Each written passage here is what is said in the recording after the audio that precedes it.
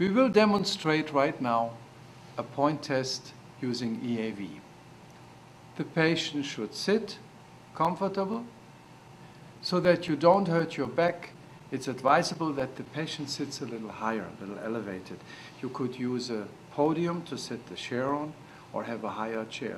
That keeps me more straight during the course while I test the patient. Not only to bend over like this, but protects your back. I will test this young man right now, and you see he wears some jewelry. Very nice jewelry, watch, rings, so, and a chain around his neck. So I will ask him to take this off because it is easier to test the points on his hands.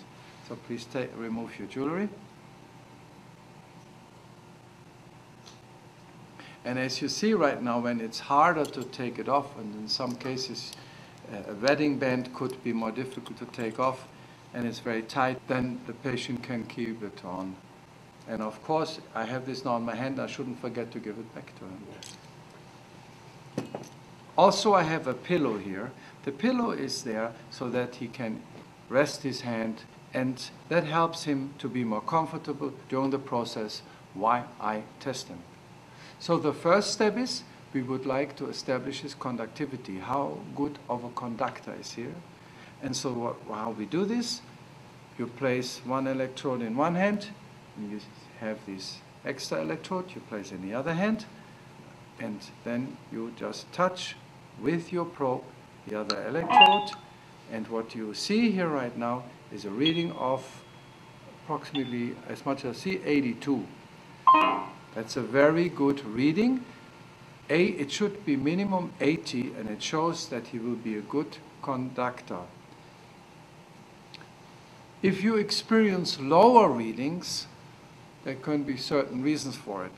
First reason would be that he maybe is a little dehydrated or he has dry skin. You find this particularly in people who work manual with their hands, like a construction worker, for example. Also, it's advisable not to use any creams. So when you make your appointment with your patient, please remind him you will test the feet, so it gives him a chance to wash the feet, and no cosmetics or strong perfumes.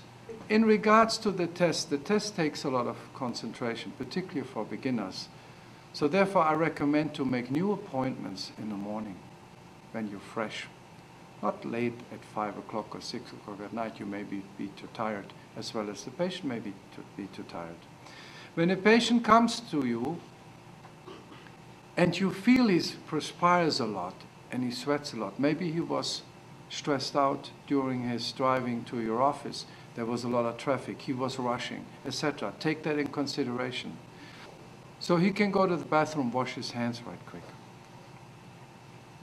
His baseline was very good, so it's measurable. You see, I have a little Dixie cup here. And I put a little bit of water in here, just enough so that when I dip my probe in here, you see there's one drop attached to the tip.